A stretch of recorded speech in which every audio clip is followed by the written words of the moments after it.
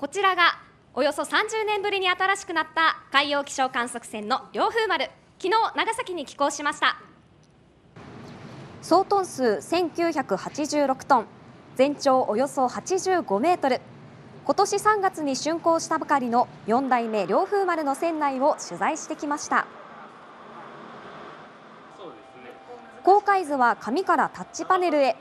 船内には最新鋭の機器が搭載されています。繁に出入りしててあと別に。梅雨の時期に合わせて線状降水帯の発生予測に向けた観測などを行うため今回長崎に寄港しました。線状降水帯は次々と発生する発達した雨雲が列をなし数時間にわたって停滞することで大雨をもたらす現象です。その発生を予測するには雨雲の元となる上空の水蒸気の量を正確に観測する必要があります。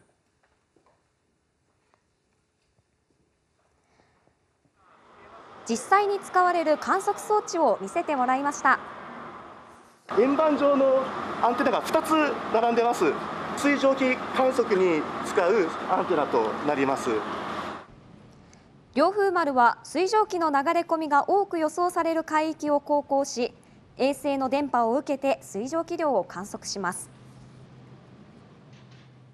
アンテナで受信したあの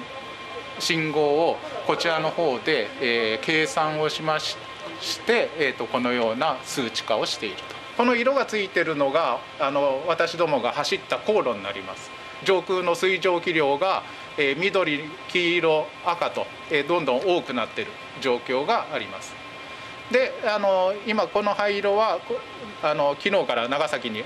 入りましたけどもそこの航路では水蒸気量が少なかったということを示しています。こういう正確な観測データがあることでより角度が高く皆様にこの地域が危ないんですっていうのが範囲をこう狭めて具体的にお伝えするっていうことができるようになってくると思うので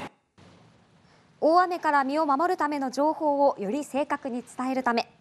凌風丸は今月16日に長崎を出港し九州の西の海域で観測業務に当たります。